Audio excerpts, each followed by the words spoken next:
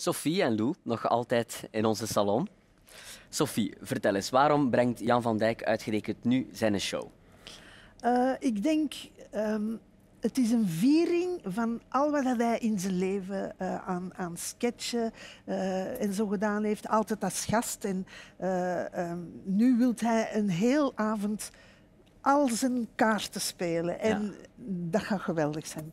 Dat gaat, want er zijn veel dingen die de mensen wel kennen en, en, en een beetje vergeten zijn. Uh, en hij heeft, hij heeft zo'n zo pleiade aan, aan uh, goede sketchen. Dus voilà, uh, ja. het is de moment. Ja, het is de moment denk ik voor Jan, omdat hij ook het gevoel heeft dat hij, hij heeft een zeer lange carrière achter de rug. Ja. Maar een, een groot, groot deel daarvan was in het buitenland. En hij heeft altijd het gevoel dat hij in het buitenland meer geapprecieerd werd dan hier. Ja. Hij heeft daar veel meer kansen gekregen dan hier. Hij heeft wel in uh, twee straten verder gespeeld. Daar ja, heeft hij aan toffe typetjes mee. Maar toch heeft hem zoiets van, ik wil nog eens aan het publiek laten zien wie dat Jan van Dijk ja. eigenlijk is. Ja. En mensen gaan nog verschieten, denk ik. Ja. Ja, ja, dat we een, een soort van aha-moment gaan hebben van, ja, dat is eigenlijk ook van Jan en dat eigenlijk ook. absoluut, ja. Maar wordt het dan een soort van, ja, best of. We gaan gewoon de crème de la crème van zijn carrière te zien krijgen. Ik denk dat je het zo kunt noemen. Ja, hè. Ja. De, de, bekende typetjes zullen daarin zitten. En we zullen zeker Tommeke zien. Tommeke, ja, dat ken ik. En ik ben me nou zeker dat de strandstoel ook wel in de coulissen zal staan. Uh, want Jan van Dijk en strandstoel, dat is bij de mensen toch één geheel. Hè. En het is eigenlijk ook, eh, de muziek heeft een heel belangrijk aandeel in de show. En gaan we Jan ook zelf horen zingen?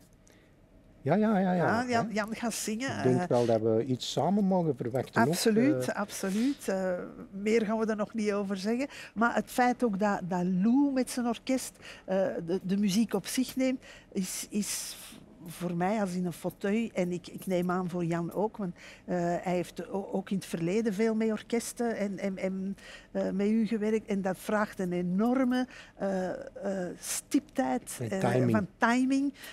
en dan moet zowel het orkest als Jan enorm ja. op elkaar ingespeeld zijn. Ja. Dus dat is een perfecte combi. Hè. Jan, ja, voilà. Jan zijn humor is ook zeer muzikaal, heel veel. Hè. Hij speelt wel sketch, maar doet ook heel veel muzikale dingen in samenwerking met het orkest. En daar is hij wel heel straf in, eigenlijk. Het feit dat er zo'n groot orkest gaat zitten, doet eigenlijk ook een beetje uh, denken aan, aan, de, aan de vroegere variété-shows. en ja. Uit België, uh, bijvoorbeeld. Het Paard, de Salamanders. Het, het, is echt een avond dat de mensen moeten komen, gaan zitten en laat het maar op u afkomen. Zonder, niet te complex, uh, heel, ja. heel tof.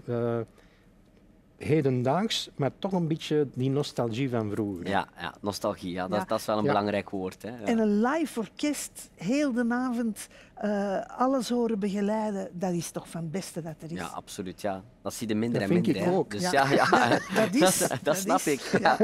En naast jullie, wie kunnen we nog terugvinden in, in de show? Uh, Patrick Onzia. Uh, Kobe, van, Kobe van Eer.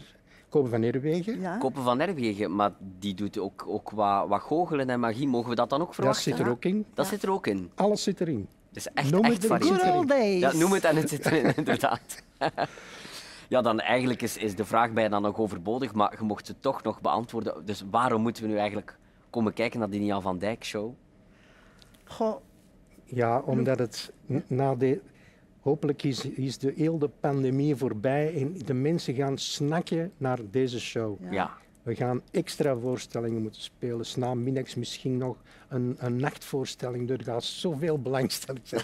Nee, nee, maar de mensen moeten dit komen zien, want ja. dit is iets dat, je, dat, wel, dat er al in jaren niet meer is. We hebben de winterrevue, maar dit is nog iets anders. Ja. Uh, dit, is een, dit is nostalgie ja, eigenlijk een, een, een, een groot Vlaams artiest die, die, we, die we dan eigenlijk nog eens gaan vieren. En we moeten die uh, koesteren, we ja. moeten die inhuldigen. En in topcondities, een, een, een gezellige zaal. Uh, um, alle ingrediënten gaan er zijn om een hele gezellige Om het te doen slagen. Ja. Ik kan haast niet wachten. Je maakt ons benieuwd. Jan van Dijk, de show van mijn leven, staat op dit podium hier in Theater Elkerlik binnen exact één jaar. Alle info kan je vinden op www.elkerlik.be. Zo dadelijk komt de familie Von Trapp hier op bezoek, of toch een deel ervan. Vader Von Trapp en dochter Liesel mochten even hun domein verlaten. Tot zo.